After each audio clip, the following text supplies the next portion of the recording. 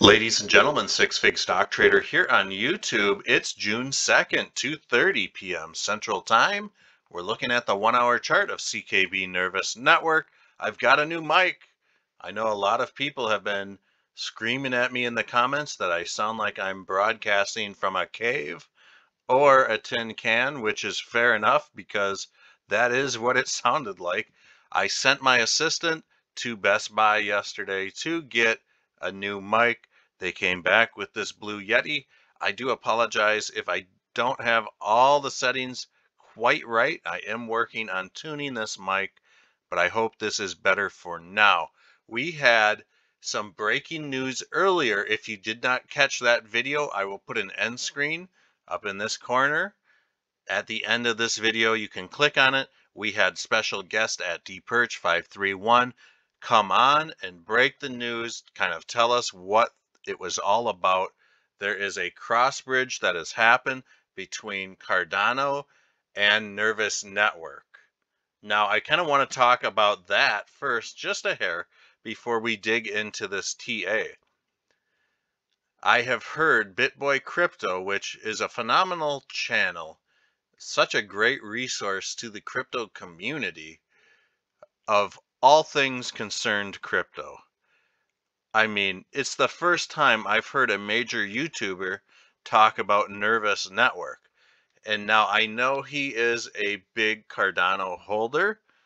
He naturally covered the story because it pertained to one of his favorite assets. And I do think this is just the beginning of widespread exposure to Nervos Network. I think that we're going to start seeing a lot of other people talk about Nervos network and this will have an effect on buying pressure.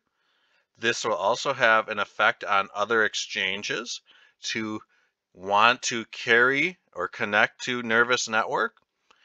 Like i said before if a coinbase listing happens i think that will be a huge gain for ckb what we're seeing here on the charts is a direct result of this small news. And I'm calling it small news for now because I think it's going to take a few days, a few weeks before people really start talking about Nervos Network or this cross bridge that happened. So it's not going to be an overnight thing, but the price is headed in the right direction. In yesterday's video, I was discussing how I liked this ascending triangle, but I was also at the same time discussing how I did not like this bearish shed that it came off of. So we might see some different direction happen with CKB. This pivot point sure served us well on top of the news dropping when it did. I think that really helped us kind of break out of this downtrend or this downtrend that might have happened had this news not broken out.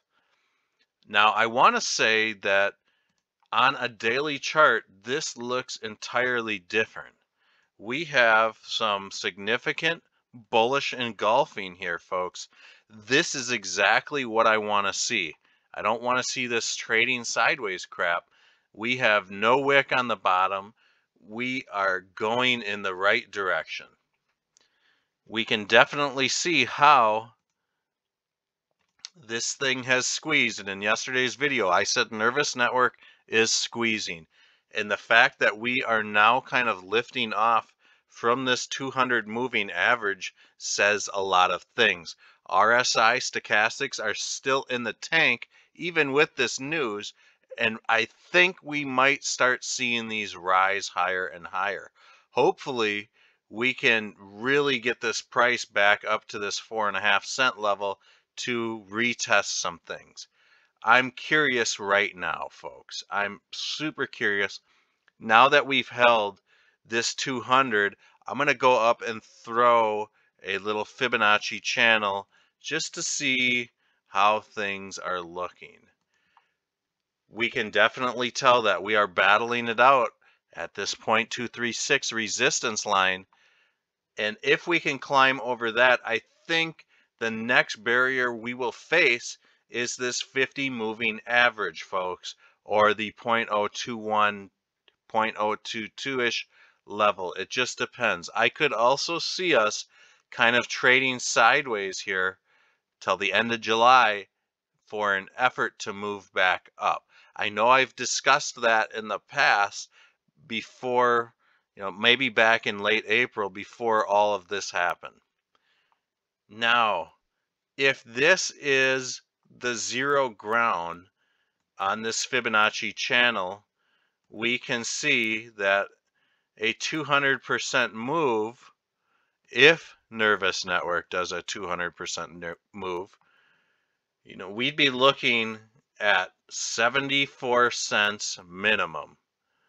Now that would be so insane to me, but we are super far out. This isn't trading advice, financial advice, or anything like that.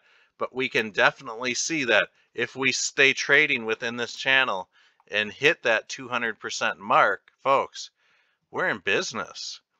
And furthermore, if we hit this 1%, this one level, we're looking at, you know, four and a half cents, which I've been begging for Nervos to retest this level. I thought we were going to do it here, but we just didn't quite make it.